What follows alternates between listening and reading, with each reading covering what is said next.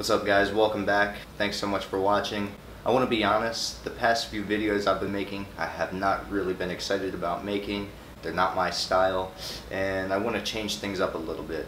So this week I want you guys to see the life of a juggler or entertainer behind the scenes. That I don't just go out and do shows, I actually have a life. I wake up just like everyone else. I like to go brush my teeth.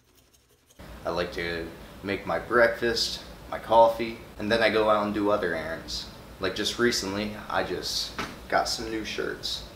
Daniel Israel TV. And I have about 40 right here if you guys want to support the brand. So any support would be awesome.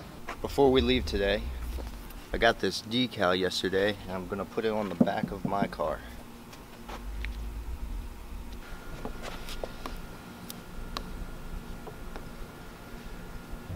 Not bad for an unprofessional. So we're heading to the gym and it's going to be awesome.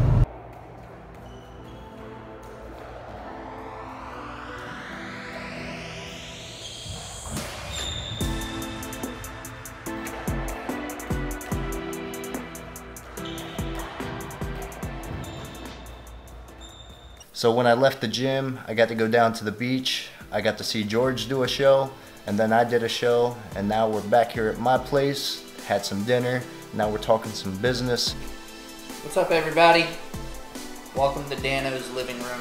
We're also going to be working on some new shows. We have a couple new shows coming up here in the spring, so we're going to be prepping really hard for that. All right, let's go. Now, address the audience. Everybody, what's up? What's up? My name's Daniel Israel, and I'm a professional contortionist. What that means is I can bend my body in ways that the human body is not meant to bend.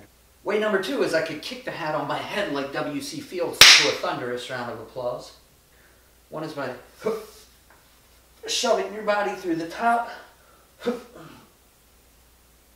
ah, shifting the tennis racket, wiggling it down your waist, and hopping out of the racket. So a couple things that I learned while I was practicing some new material for stage is that it is completely different than what I've been used to.